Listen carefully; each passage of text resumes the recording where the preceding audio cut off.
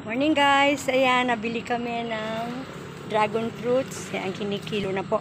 Bagong harvest dito sa sigsag ng going to Kabinti. Ayan, nandyan ang farm sa taas. Okay, kuhain ko na yan. Salamat. Ayan, pinakita ko lang sa inyo. Share ko lang sa inyo ang bagong harvest ng dragon fruit. Namimili pa, nag-harvest pa sila dun sa taas. Salamat po. okay. Ayun, ikaw na kuha doon, Tart.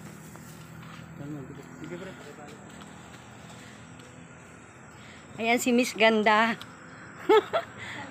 yes, oh, di ba? Naka-harvest lang eh. Ilang ano din wala. Oh, di ba? Three days din wala. Oo, ang tagal araw-araw dumadaan kami dito. Kasi every two weeks yan ay hinog. Tapos na usat kasi eh. Dito pa lang. Yes. So, tinan nyo, ang dami guys, oh. Napakatamis. Alam nyo ba na mula na mag-harvest sila, almost everyday kumukuha kami dito. Si Macho ang nagbabantay. Si Macho, Oo. okay. Lagi kami dito.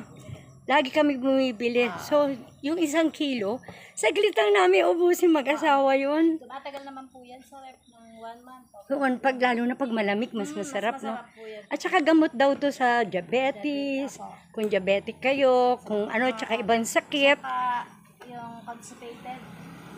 Yun, Kung kayo yan, morning wala pa naman yung chan nyo. mas maganda. Mas maganda. Yeah, okay. Cleansing eh, no? Ang ganda. Thank you, name mo. Sa ano paper. Oh, ano yung, kasi yung hinahalo kayo. oo, ah, ganun. Yeah, okay. Maraming gamit po yan. Okay, salamat ha. Thank you. Thank you din. Name mo? Myla po. Mahila. Okay. Salamat, guys. Okay. Okay, sinare ko lang sa inyo. Thank you. Ayan si Machu. Ayan, dito kami lagi. Ayan. oh. Ayan ang asawa ko. Okay, bye-bye. Thanks for viewing. Please like and subscribe. Toy Meets channel po. Thanks.